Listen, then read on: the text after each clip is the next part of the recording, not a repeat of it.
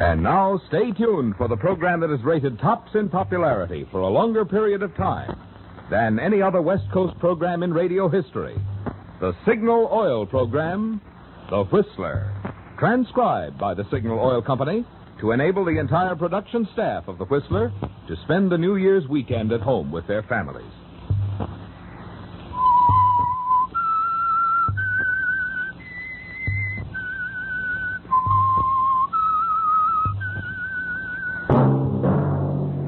Signal, the famous Go Farther gasoline, invites you to sit back and enjoy another strange story by The Whistler.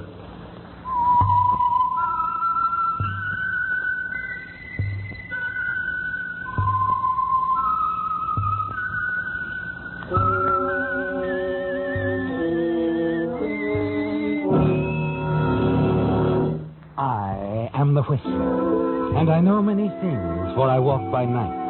I know many strange tales hidden in the hearts of men and women who have stepped into the shadows. Yes, I know the nameless terrors of which they dare not speak. And now for the Signal Oil Company, The Whistler's strange story Fatal Step.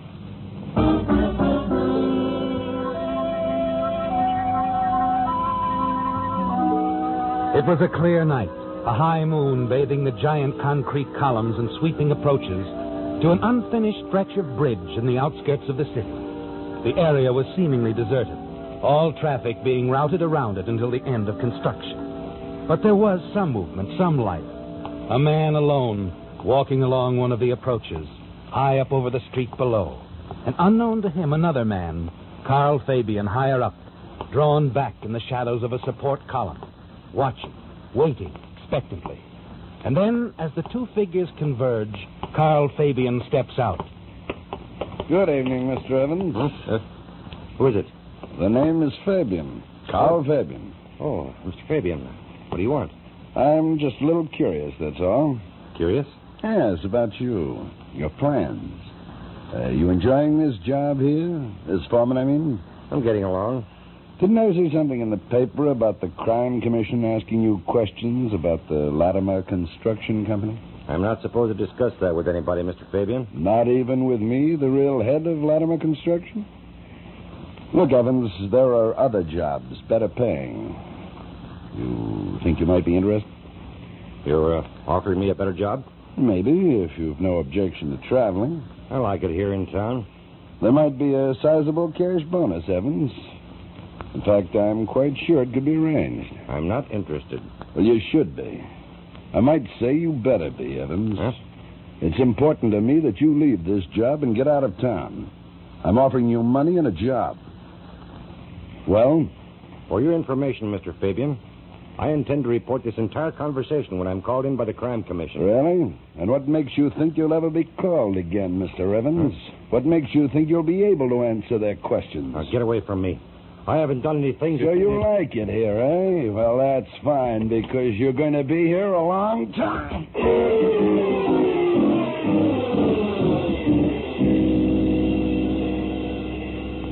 He went over the railing, didn't he, Carl? The simple, clean cut way to be rid of the talkative Mr. Harry Evans. It's the way matters like this were attended to in some of your less legitimate enterprises. Where you got your start, before you moved in on construction work. But now you know that you must get down there, Carl, 50 feet below. Make certain that Evans is dead. At the end of the ramp, you catch sight of him. Freeze in your tracks as you see something else. A lantern. The night watchman, Carl, and coming your way. You leap back into the protection of the tool shed, crouch against its dark shadows. The watchman calls out to someone. Grady, get over here. Something's happened. What is it, Mac? Who is it, Mac? What happened to the guy? He went over the rail. Still alive, I think. You better go for the ambulance. Oh, gosh, the poor devil. Hurry, Mac, the ambulance. Maybe there's a chance. Yeah, yeah, I'll hurry.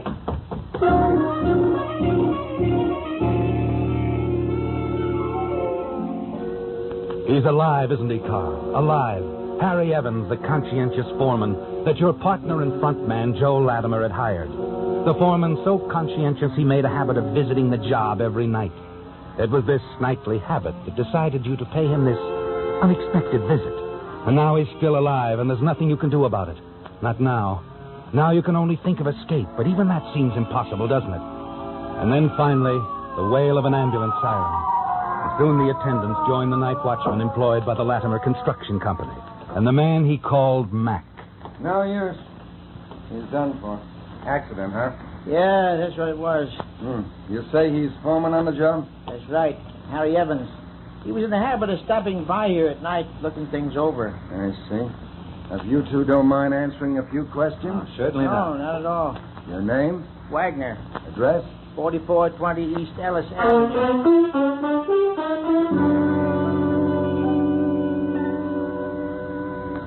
It was terribly close, wasn't it, Carl? The watchman reaching Harry Evans before he died. You weren't even sure that he hadn't found out something, but you're sure you're in the clear. His report to the ambulance attendant was simple and complete. Accidental death, they'll call it. And you're sure you're rid of Harry Evans. Rid of him forever. The following evening, your mind is on more pleasant things. The occasion, a smart supper party. And a girl named Leona to help put you in a pleasant frame of mind. The attractive niece of Judge Victor Mayfield. And you seem to be practically the only man she cares to dance with. You've come a long way in the past few years, haven't you, Carl? Many people think of you as a legitimate businessman. But despite your responsible front, at heart you're still the same racketeer you've always been. Aren't you, Carl? Well, Carl, you seem to be enjoying yourself after all. I didn't say I wouldn't, Leona. I said I was surprised that the judge put in an appearance. So was he. Oh? I'm used to having my own way. Perhaps it's best that you know that. And I'm part of your plans? Why not? An eligible bachelor? Perhaps one of the most sought after? Oh, Carl Fabian, 40-ish, single, tall, rugged, handsome. sounds like a description from a Western novel. oh, let me finish. Head of Fabian Enterprises, a real political force in our fair city. Oh, I don't know about that. I do. The judge does. We also know you're the brains and money behind the Latimer Construction Company. What about it? Nothing. Except that it's a distinction to be part of the city's great expansion, growth. Yeah, yeah, it is. well, don't sound so somber. Oh, sorry. Oh, the music stopped. Sorry about that, too. Yeah, I really am. Come on, meet my uncle. Who knows? Someday you might get a parking ticket. and if the judge could do me any good, what could I do for him? You could at least be pleasant. Maybe even help him remodel his home. Isn't that what some of you big contractors try to do? Little favors for influential men? Leona, you're quite a girl. oh, I'm on good behavior tonight. Besides, Yes? you're quite a boy.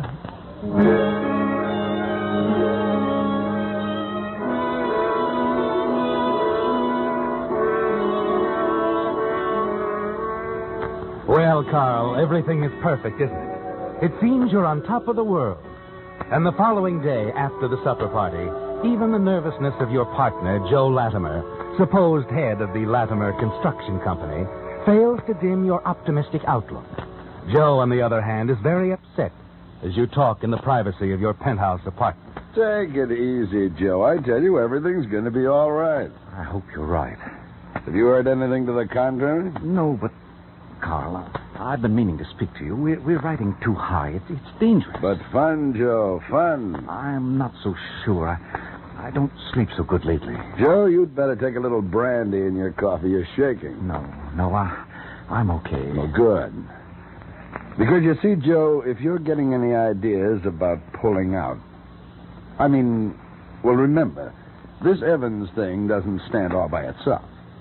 Let's remember how we built the Latimer Construction Company, how we'll go on building it. Oh, no, Carl. I have no intention of changing anything. Good boy. I, I just want you to reassure me, that's all, that, that we'll have no trouble, that nobody suspects anything about Harry Evans. Nobody does, Joe. There's no way, believe me. It's simple. Harry Evans was about to talk to the wrong people, the Crime Commission. You and I knew he would have said the wrong thing. Yes, yes. I know you liked Evans. He worked for me, that's all. I, Ah, I'm not criticizing Carl. We have to look out for ourselves. Now you're talking. You see, Joe. You expecting somebody? No. Well, I'll go in the other room. There's no need asking for trouble. Okay, good idea, Joe.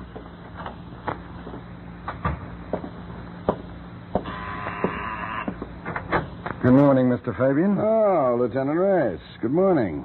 Come in. No, just up by for a routine questioning.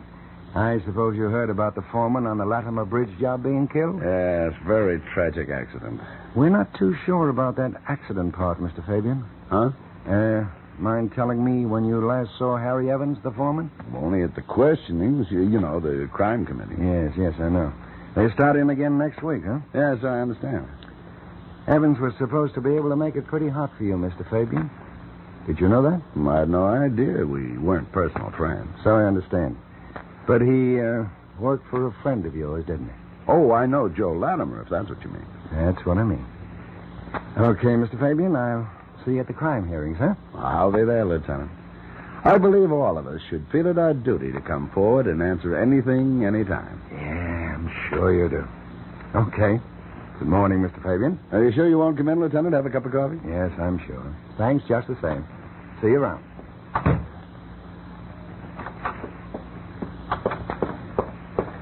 Was a cop, wasn't it, Carl? A cop. Lieutenant Reyes, yes. Why? What difference does it make? How can you ask that? How can you stand there, not blink an eye when there's police around asking questions? How, Joe? Simple. Because I'm a man with nothing to fear, that's how. You worry about construction, Joe. Oh, incidentally, contact Frank Kelsey for me today. Frank Kelsey? Why? I think Judge Mayfield is going to want some work done around his house. Around his house? We're not interested in jobs like that. But the Kelsey Construction Company will be. Tell Frank I said to submit a low bid on any work the judge requires. Tell him I mean low enough to be sure he gets the job. I don't follow. It's simple, Joe.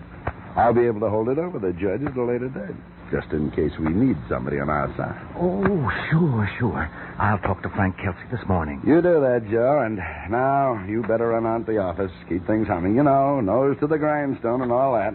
Sure, sure, Carl. I, I was just leaving.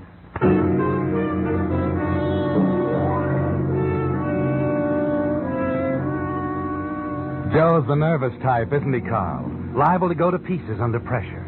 You, on the other hand, must see that no pressure occurs. You must keep a tight rein on your operation. A few moments later, the door buzzer sounds again. You wonder if Joe's nerves have gotten the best of him and that he's back for more assurance. But that isn't the case. The man at the door is the last man on earth that you want to see right now. Hello, Mr. Fabian. Uh, hello. I can see you don't remember me. Well, it's understandable. Guess we never did meet face to face. I, uh, seem to recall your voice. It... Oh, you heard it that night, huh? Where were you? Uh, maybe hiding by the tool shed? The night watchman. The night watchman. Dreary job, Mr. Fabian. Nothing like this. Penthouse and all. Thought maybe you'd want to help me change it all. Change it? Yes, you see, uh, Harry Evans wasn't quite dead when I reached him. Remember? He whispered your name. No one will ever believe that. It's it's fantastic. Oh, come off it. You don't really think you're going to send me away with a remark like that.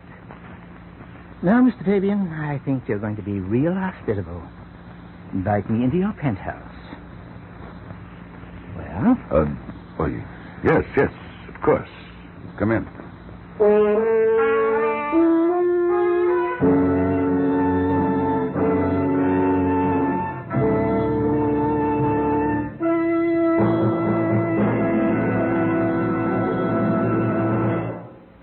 Because the approach of a new year is always an appropriate time to take stock of one's blessings, we of the Signal Oil Organization would like to take this opportunity to express our appreciation to all of you who have given us so much for which to be thankful. To you, loyal Whistler fans, whose continued preference for Signal products has helped us grow from a small start in one state into an organization now serving seven western states, we are genuinely grateful. To independent signal dealers whose conscientious service has helped so much to keep customers and their cars happy, we are mighty appreciative. So that all of us in the Signal Oil family may continue to merit your friendship and your business, you can count on us to continue our policy of making Signal products ever finer and Signal services even more complete. Throughout the coming year, as for the past 21 years. We shall do everything in our power to make your stops at signal stations, as well as your miles behind the wheel, happy ones.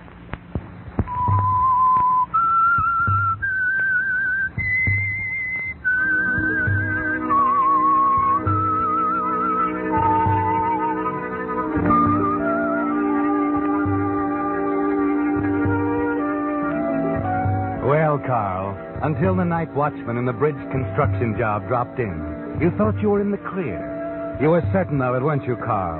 Certain that no one can prove that you had killed Harry Evans to prevent him from appearing as a witness in the forthcoming crime committee hearing.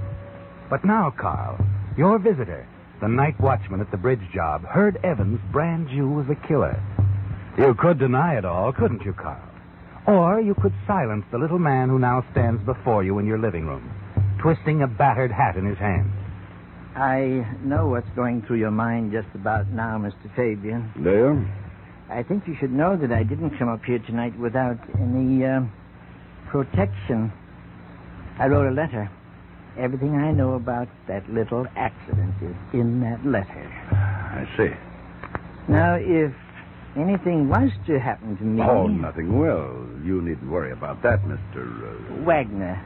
You may call me Ernie. All my friends call me Ernie. All right, Ernie. Um, uh, sit down. Thanks. Thanks, Mr. Fabian. I, I will. Uh, tell me, Ernie, uh, how do you like your present job? Fine. Just fine. Uh, would you like it better at, say, uh, double your present salary? Well, that sounds real interesting. Only. If it's more money you want. uh, Uh, I wouldn't mind that, Mr. Fabian, but. Uh, then what is it? Well, I'm sort of getting along, you know. It's time a man of my years retired. Well, of course, Jimmy, I quite agree. I, I think you misunderstand me. I said double the salary. I said nothing about you having to work. Oh. well, that's mighty nice of you, Mr. Fabian.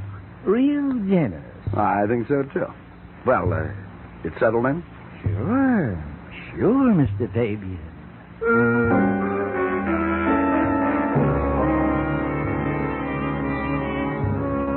You've disposed of the threat, temporarily at least, haven't you, Carl? Yes. And that's all you wanted to do for the moment. But you know a man like Ernie Wagner can be dangerous because of what he knows, what he can do. And you know, too, that before long, you'll have to rid yourself of him somehow, permanently. The following morning, you call the Latimer Company. Mr. Latimer's office. Edna? Oh, hello, Carl. How are you? Oh, fine, honey. Is uh, Latimer there? Uh, no, he went out some time ago, but he'll be back this afternoon. Shall I have him call you? Yeah, what'd you do there, sweetheart? Uh, any news? Yeah. Mr. Latimer had a visitor this morning. Did he? The district attorney. The district attorney. They had a very long talk. I see. What about? Well, I don't know. I, I tried to find out, but when I walked into the office, they clammed up. They were in the office for about an hour. And when they came out, Mr. Latimer told the DA he'd think it over and let him know. Thanks, honey. Buy yourself something and send me the bill as usual.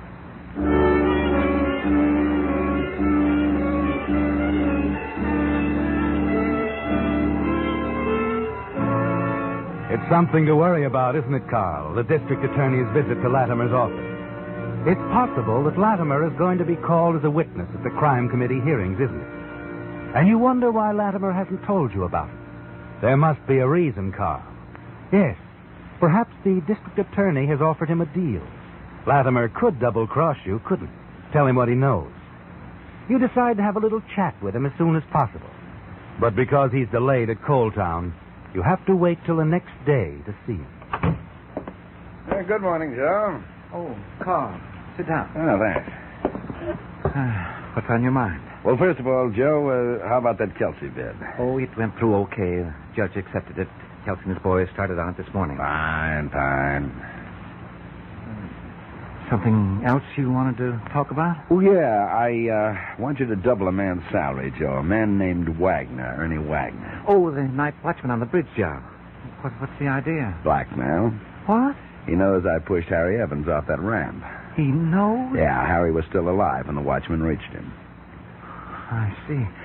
Now, look, Carl, about his salary. What's wrong? Well, couldn't you handle it some other way? I, I don't want to get we mixed do it up. my way. He gets twice the money in retirement.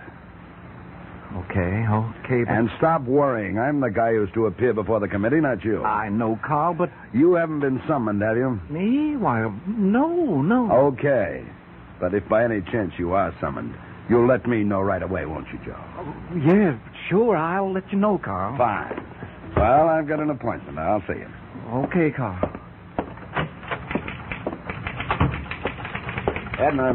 Yes, Carl? I want you to keep a very close tab on what goes on around here from now on. Very well, Carl. I want to know every move Latimer makes, who his visitors are, who he talks to on the phone. You understand? Yes, I understand, Carl.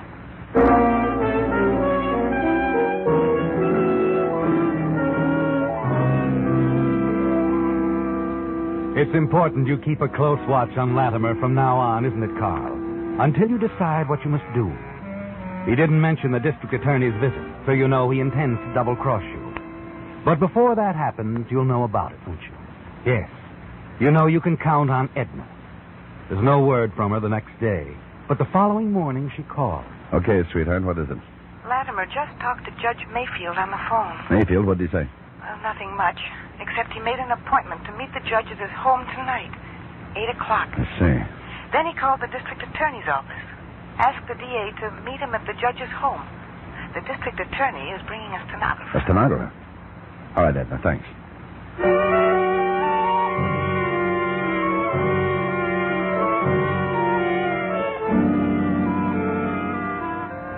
You know exactly what your partner, Joe Latimer, plans to do, don't you, Carl? Yes. First, he'll reveal the trap you set up to implicate Judge Mayfield. And then he's going to file a written statement with the district attorney, reveal all he knows about you and your activities. But that meeting isn't going to take place, is it? Because you're going to act first. You call Leona, make a date. Ask her to stop by your apartment first for cocktails.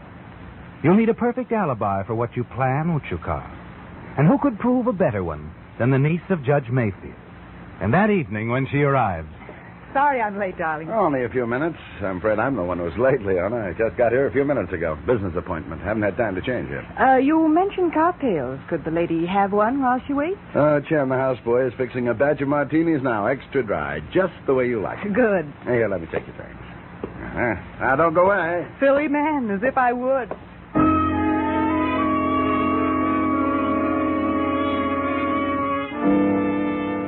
You hurry into the bedroom, then slip out onto the terrace, down the fire escape to the next floor. There you take the private elevator down to the garage. And a few moments later, you're racing toward Judge Mayfield's house. At ten minutes to eight, you're standing in the shadows along the front walk to the judge's house. A few minutes later, a car stops in front. Then you hear footsteps approaching. Hello, Latimer. Carl, Calling on the judge? I, uh, well, yes, I... I don't think you'll make it, Joe. Oh, now, wait, Carl. Let me explain. I haven't that time. Sorry, Joe.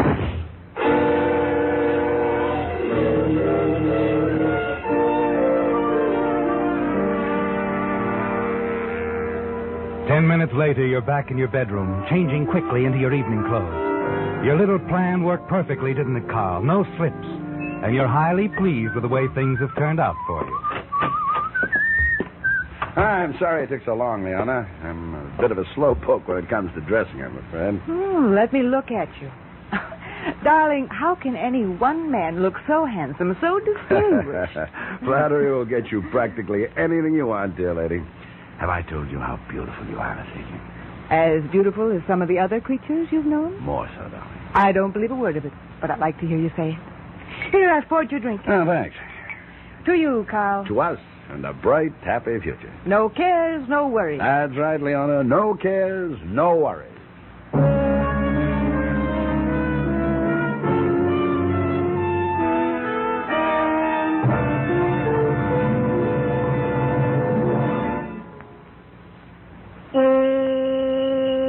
Extra pep, extra pep, take those hills in high. Put signal Ethyl in your car and it will really fly. if you're surprised to hear Marvin Miller sing, just wait till you hear your car sing when you treat it to its first tank full of Signal Ethyl, the premium grade of Signal's famous Go Farther gasoline. Yes, it'll be music to your ears on cold mornings when you touch the starter and presto, your motor starts humming a tune quicker than you can turn on your radio. When it comes to acceleration, Signal Ethyl will show you pep that makes even Dixieland jazz seem tame. And with Signal Ethyl's responsive power, you'll soar up hills as smoothly and high as a coloratura from the Met soars to high C. And why not? After all, Signal Ethyl is engineered to bring out the best in any car of any age. So, if it's best performance you want, just remember the famous last verse of that great shower room tenor, Marvin Miller. Mm. Go farther and have fun. Enjoy your every spin. To get more out of any car, put Signal Ethyl in.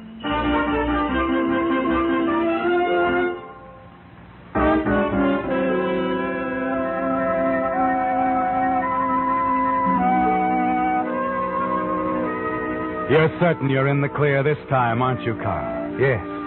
Even though you know the police will suspect you, that you had the motive, they won't be able to prove that you killed Joe Latimer. And you've arranged an alibi, too, haven't you? Leona Anders, niece of the highly respected Judge Mayfield. And so, after an evening of dining and dancing, the two of you return to your apartment. As you step inside, Chan, oh, Chan, are you... Evening, Mr. Fabian. Well, well, Lieutenant Race. Uh, allow me, Miss Anders, Lieutenant Race, homicide. How do you do, Miss Anders? Homicide? Is something wrong, Lieutenant? Yeah, what's all this about? Joe Latimer was murdered tonight, Mr. Fabian. Joe murdered? Good Lord. It happened in front of Judge Mayfield's house. The judge heard the shot and found the body. Oh, Carl, how horrible. Now, get right to the point, Mr. Fabian. Where were you this evening? Why, Leona and I were at the Halloween Club. Well, of course. Mind trimming me in on the time, Mr. Fabian? Well, let me see. Leona arrived here at the apartment shortly after 7.30. That's we left right. somewhere around 8.15 and went directly to the club. Mm-hmm. Joe Latimer was killed at approximately ten minutes to eight. Where were you at ten minutes of eight, Mr. Fabian? I told you right here. The Leona can tell you. Was he with you all the time, Miss Anders? Well, no, he went into the bedroom to dress. How long was he in there?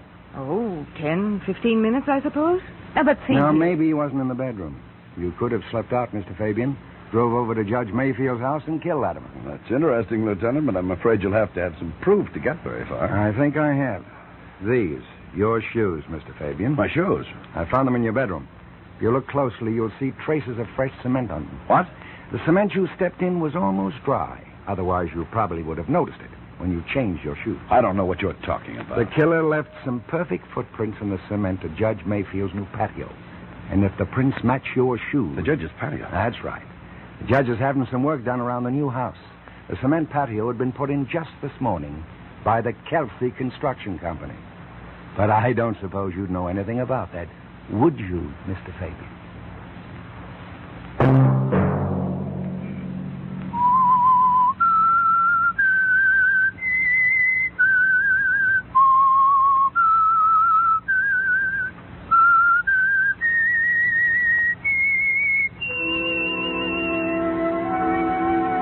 Let that whistle be your signal for the Signal Oil program, The Whistler, each Sunday night at this same time. Signal Oil Company has asked me to remind you there's an easy way we can all help to make this holiday season happier for ourselves and others. Drive at sensible speeds, be courteous, and obey traffic regulations. It may save a life, possibly your own. Featured in tonight's story were Bill Forman as the Whistler, Ted DeCorsia, Joe Gilbert, Ed Begley, Leo Cleary, Joe Forte, and Herbert Lytton. The Whistler was produced and directed by George W. Allen with story by Adrian John Doe, music by Wilbur Hatch, and was transcribed and transmitted overseas by the Armed Forces Radio Service. The Whistler is entirely fictional, and all characters portrayed on The Whistler are also fictional. Any similarity of names or resemblance to persons living or dead is purely coincidental. Remember to tune in at the same time next Sunday when the Signal Oil Company will bring you another strange story by The Whistler. Marvin Miller speaking for the Signal Oil Company.